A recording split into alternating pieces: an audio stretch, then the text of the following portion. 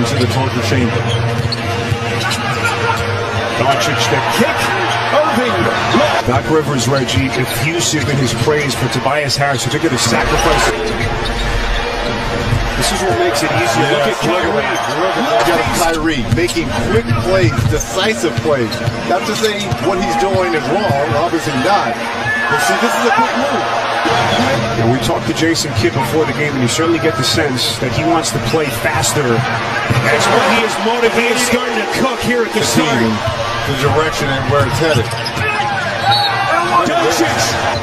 So a two-point Mavericks lead. Good start for Harden, seven and six assists. Cleveland with McDaniels on his back. Doncic. Deep shot. Brief little rest to close the quarter. Three. So Melton back to his reserve role for his second straight night. He's got eight points off the bench. Irving average for Tobias Harris. Have to go all the way back to 2015. As Irving catches, shoot, split. And I'm not, he's not in, in great shape. He's in really good shape. Look at this. As he goes through the moves and does all that. But uh, now the question, which of these two teams can tighten the clamps a little bit with their defense? Irving. Just and asked what they wanted to see differently in the second half. Well, what we just saw from Kyrie Irving is the exact opposite of that. They do not want to see Irving and Doncic. No, excuse me.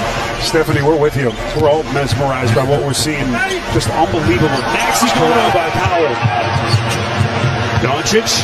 Irving. Splash. Kyrie carving him up, looking for more. Splits two. He just can't be stopped.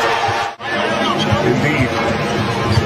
Doncic against Embiid. What a matchup here. Luka likes it. And he buries it. He was looking at the Sixers bench the whole way and found Maxey up top. Step back three.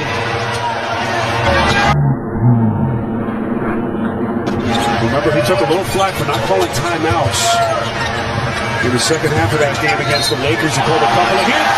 He's back. As Hardaway goes inside.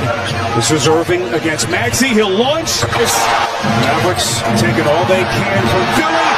Goes to Harden. Ahead of the field. Green. Taking flight. Boy, Kyrie getting on the glass. Transition three has been magnificent.